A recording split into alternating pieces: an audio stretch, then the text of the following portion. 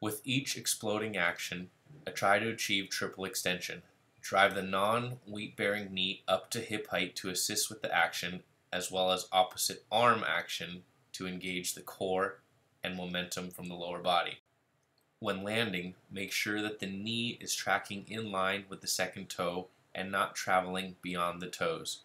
Keep the core engaged and exhale through each landing as you pull yourself down into the ground with the hamstrings.